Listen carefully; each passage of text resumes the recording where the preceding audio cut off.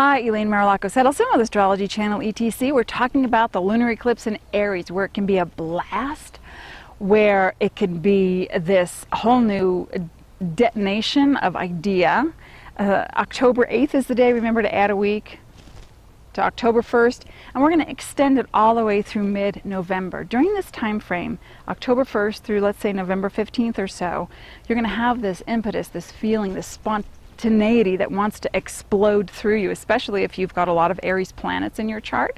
And this is a really great thing, but remember, we're also in a Mercury in retrograde during this time. So ideas are going to come like this. Keep a pen and pad handy, keep a phone, you know, call your agent with your ideas. But the bigger issue is uh, the combination of the retrograde in Scorpio and this Aries uh, lunar eclipse you're going to have some insight into your own feminine behavior. So, what can that mean? Are you passive? Are you passive aggressive? Are you um, too trusting? I don't know if there is such a thing, but you do need to set boundaries. Are you someone who is so excited all the time and happy? And now you just want to you know take a vacation from the world it's okay. No matter what you experience it's going to be a lot of energy in the month of october.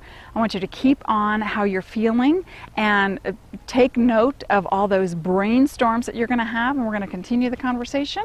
If you like what you hear please uh, join me on my website on facebook and on the youtube channel astrology channel etc